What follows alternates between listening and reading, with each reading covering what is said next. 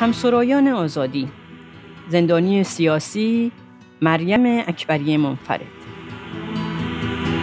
مریم اکبری منفرد متولد سال 1354 در تهران است.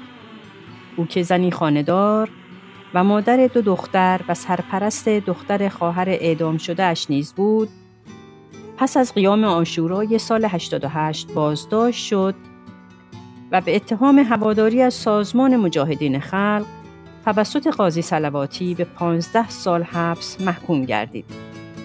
دو برادر وی در کشدارهای اوایل دهه 60 و برادر کوچکش و خواهرش در قتل عام تابستان 67 اعدام شدهاند.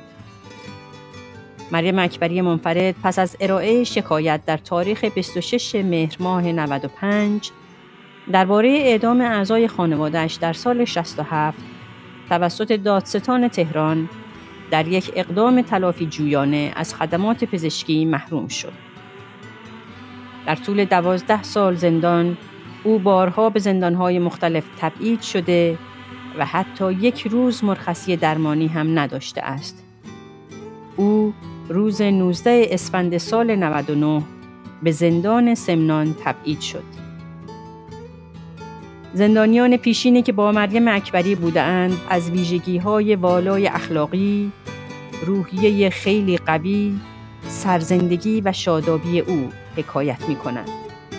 روز 28 خرداد 1400 مریم اکبری منفرد در نامه ای از زندان سمنان ضمن فراخان به تحریم انتخابات نوشت رأی من سرنگونی این صدای من است از پشت میله های زندان سمنان با بدترین شرایط انسانی.